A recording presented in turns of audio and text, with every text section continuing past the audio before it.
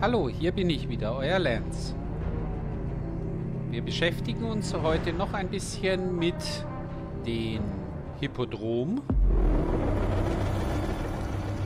Und es könnte natürlich sein, dass das noch etwas äh, längere Zeit in Anspruch nimmt. Das Hippodrom hat, äh, wie ich gesehen habe, einen eigenen Schnellreisepunkt, den man erst später entdeckt. Also, wenn ich jetzt hier auf das Hippodrom gehe, erhalte ich äh, aber äh, nicht erstmal das Reiseziel, sondern komme in ein Submenü für das Rennen.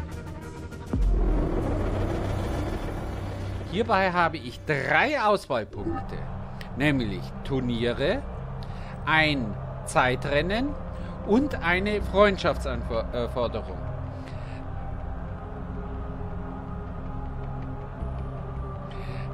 Ehrlich gesagt mit der Freundschaftsherausforderung, da habe ich noch keine Ahnung, wie das genau funktionieren soll.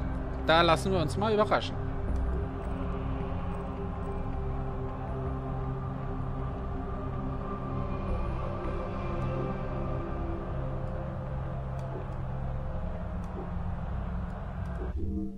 Na, das hat etwas gedauert, dass das reagiert hat.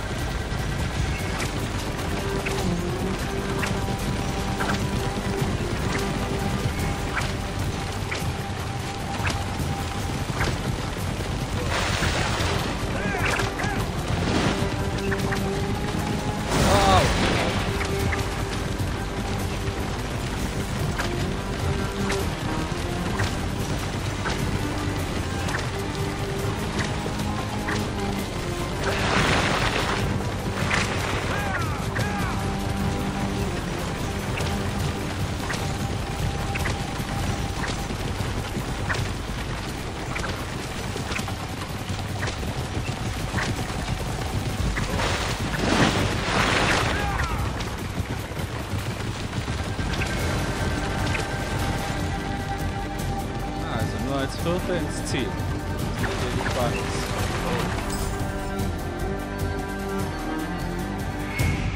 Versuchen wir es doch nochmal. Das war nur dieses eine blöde Eck.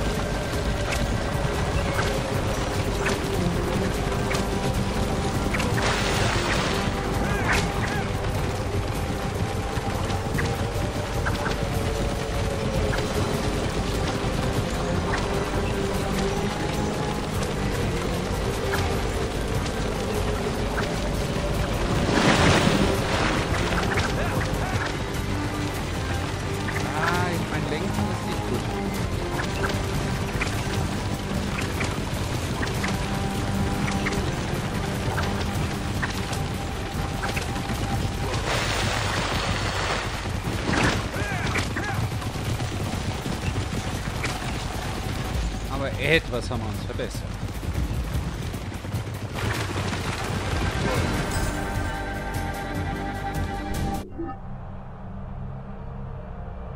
Wenn wir jetzt das nächste Mal drauf gehen, haben wir hier unsere Bestzeit.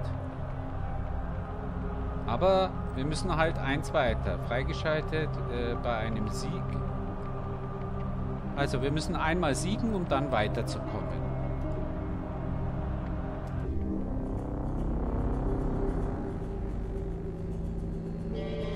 So. Wir müssen im Augenblick sehr Obacht geben. Hinter uns sind Kopfgeldjäger her. Durch den einen Mord an der Schlange haben wir sozusagen diese Kopfgeldjäger äh, aktiviert. Und die sind ganz schön heftig, wie ich schon mal mitbekommen habe. Oh,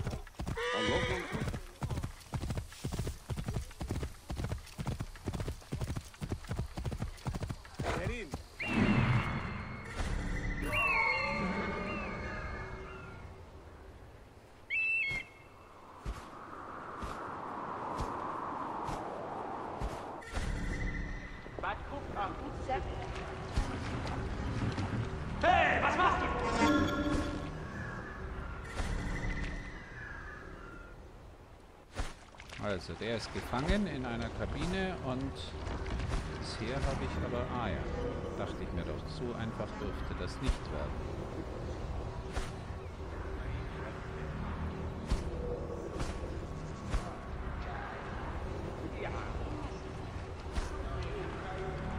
Da müssen wir uns durchkämpfen.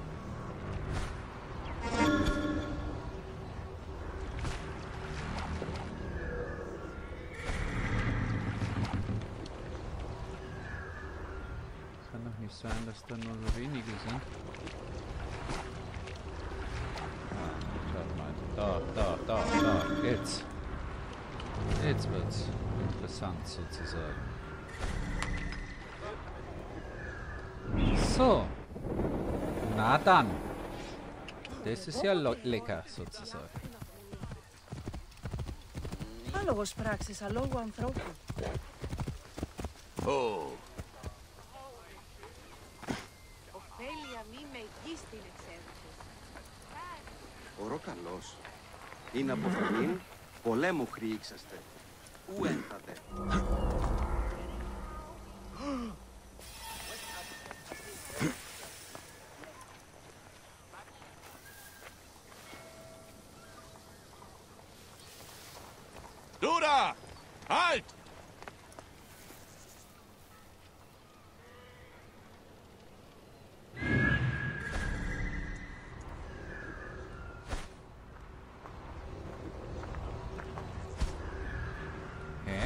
Wann kann ich denn die nicht mehr angreifen? Hm?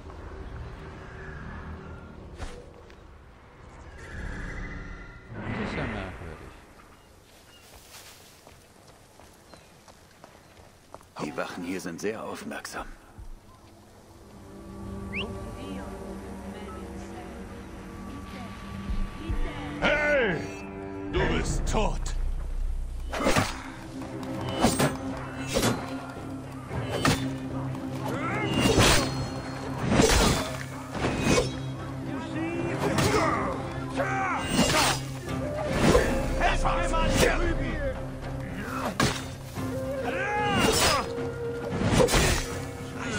Eingeweide raus!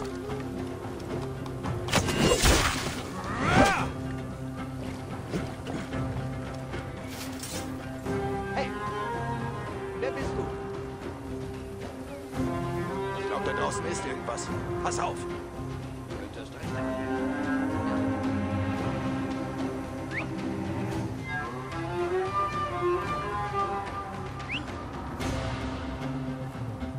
Braucht jemand eine finale Abreibung.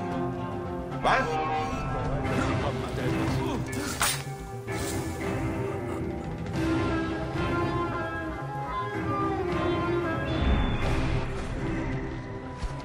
Warum geht das neuerdings nicht mehr? Schon merkwürdig. Was führt dich her? Helfer!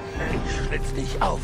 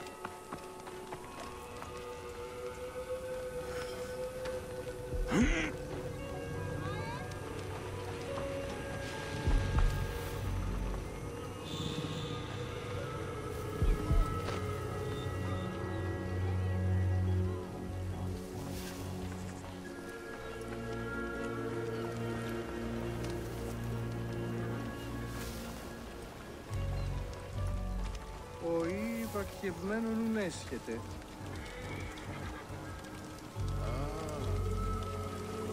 Στην τα πάντα. Προς την μοχθήσα. Αλλάξει εσύ.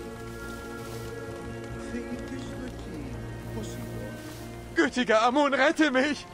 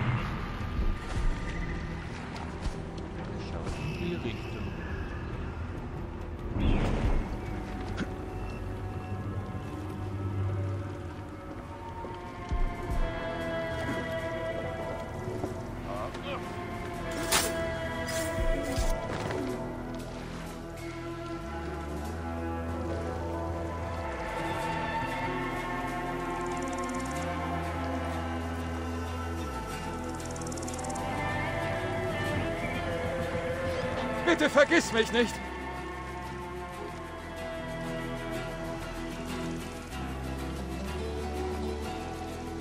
Hol mich hier raus!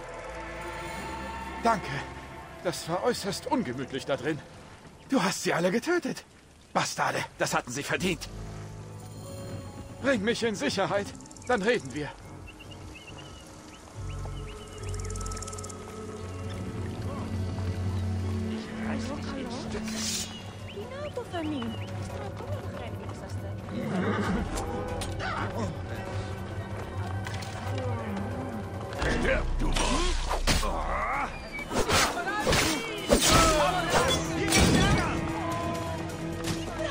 Treffe ihn sicher. Deine Zeit ist um.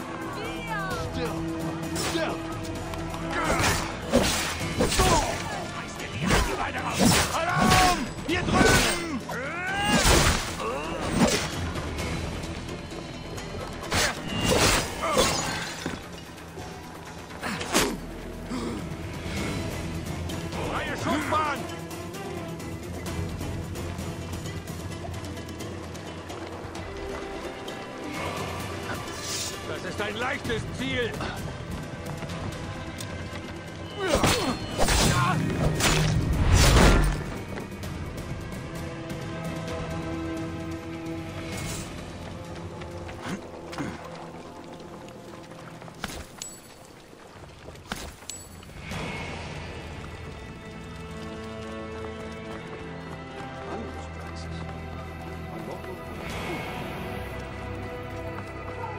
Warum rennst du da mitten rein? Typisch, oder? Ich hätte sie alle selbst umgebracht. Aber der dumme Käfig war einfach zu stabil.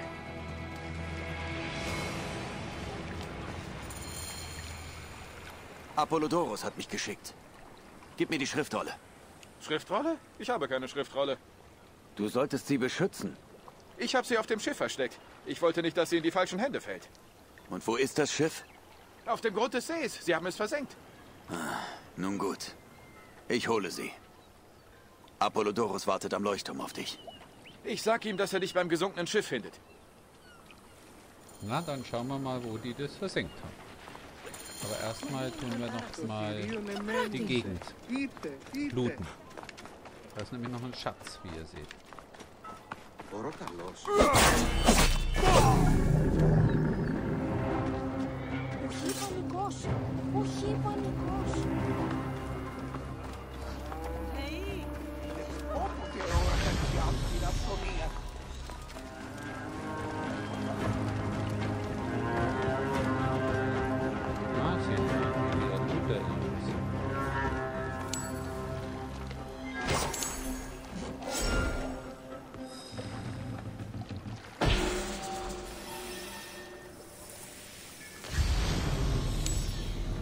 Immer nichts mit dem kleinen Loot zu tun, das hat nur immer was mit den großen Sachen zu tun. Aber ich glaube, in dem Fall sind wir wirklich durch. Das ausschaut, ist schon mal drüben im Lager.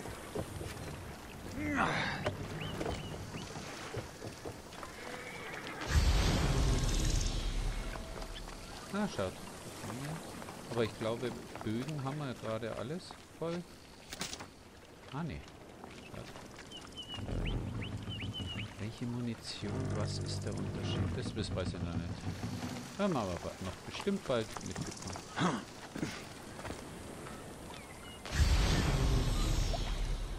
Da noch was? Nein. So.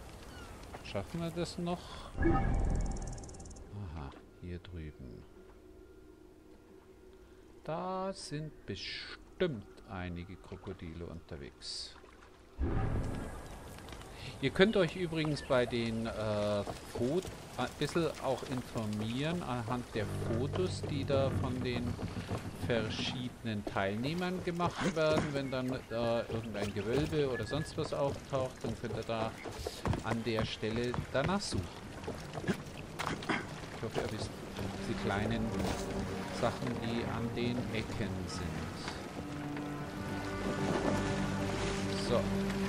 Also äh, auf der Map äh, sind so kleine Quadrate äh, und dahinter verstecken sich Fotos verschiedener anderer Spieler.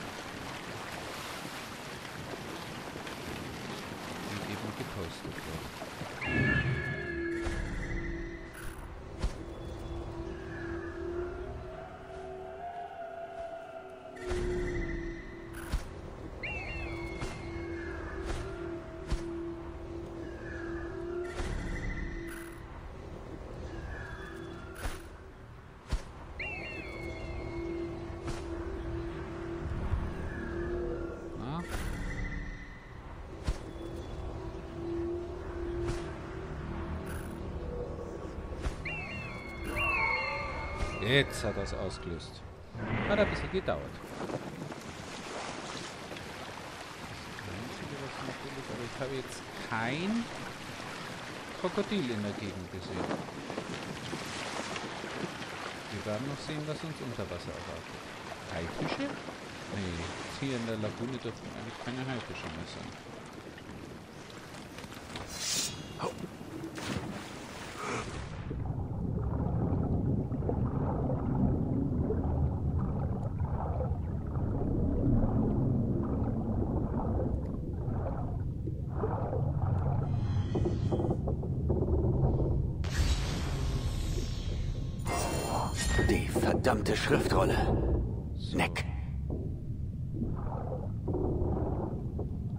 da weiterschauen? Was da? Ach so, Apollodorus. Also mit Alt-Taste kann man auftauchen. Machen wir alles einmal erstmal lernen.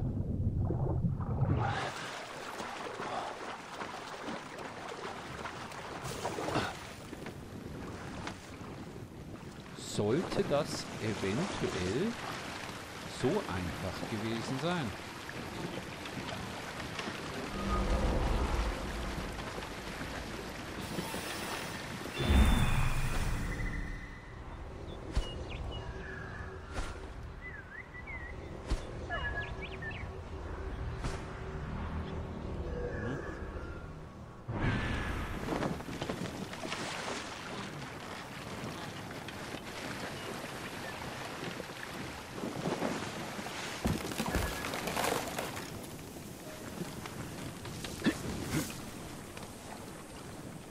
Hier ist ein kostbarer Papyrus.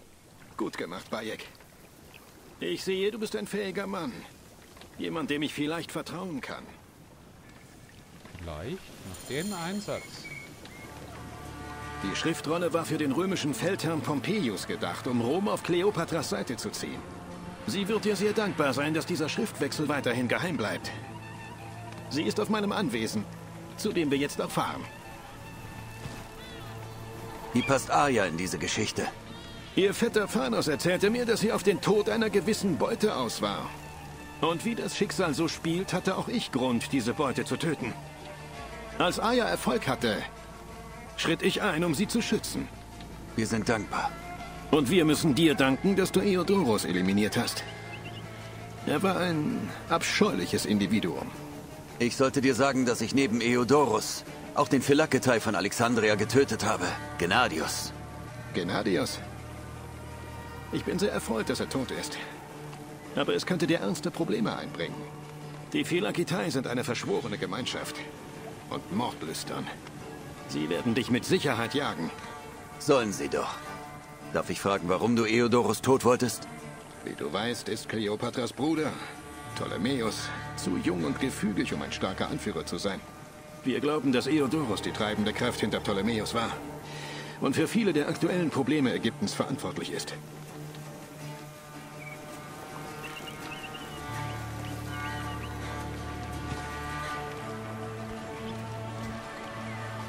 So, wir müssen jetzt also Apollodorus weiterbringen, aber nicht mehr in diesem Stream.